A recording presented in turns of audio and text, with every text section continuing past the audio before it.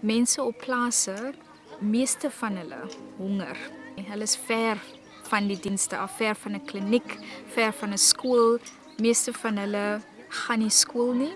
Ah, baie dankie Xavier. Wel dan. Ek dink elke kind herinner my aan myself en my omstandighede en hoe ek groot geword het. Want ek het ook nie kos gehad nie, ek het ook nie 'n toilet gehad om na toe te gaan nie. Maar nou jy moet my help om dit in te gooi. Jarenlang al zorgt mama Ingrid elke dag voor de allerarmste kinderen op het platteland. Op haar boerderij onderhoudt ze samen met de kinderen en hun moeders een grote gezamenlijke moestuin. Elke dag eten hier ruim 900 gezinnen van. Nice. Dit is lekker. Maar de tuin biedt zoveel meer dan alleen voedsel. De kinderen leren voor zichzelf te zorgen, maar ook Wat lezen? Lente. schrijven Hoe lyk dit? En en brood bakken. ook so maak rol en so? Nice, né? Mooi Xavier. Ek kan jy hom alleen doen.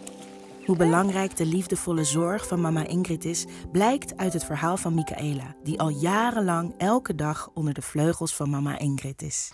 Dit is Michaela 4 jaar terug en sy het 16 kg geweeg. Sy kon nie 'n pen vashou nie want sy het nooit geëet op 'n gereelde basis nie. Is dit lekker, Michaela?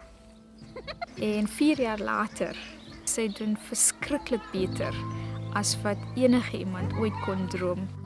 Wow. Sy help om te groei groente sodat mense wat selfarm is en selfhonger is, ook kan eet. So maar Ingrid is weer aan die plaas. Ek Ingrid is miskien wel leer daar wil ek wel weer leer om in die tuin te werk en maniere. as 'n kind sê ek is honger, dan sê ek vir hulle, hulle hoef nie bekommerd te wees nie, want mamma Ingrid sal seker maak dat hulle nie honger is ooit weer in hulle lewe nie.